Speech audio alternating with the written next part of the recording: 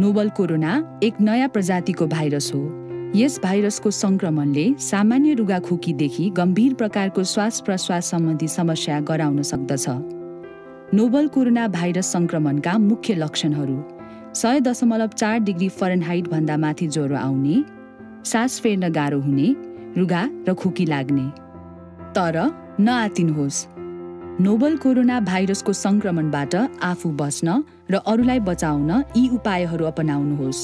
नियमित रूपमा साबुन पानीले हात धुने खोक्दा र हाछ्यु गर्दा नाक र मुख छोप्ने ज्वरोसहित रुगाखोकीको लक्षण देखिएमा स्वास्थ्य कर्मीसँग परामर्श लिने रुघा खोकीको लक्षण भएका व्यक्तिबाट टाढा बस्ने जङ्गली तथा घरपालुवा पशुपन्छीसँगको असुरक्षित सम्पर्कबाट टाढा रहने माछा मासु तथा अन्डा राम्रोसँग पकाएर मात्र खाने।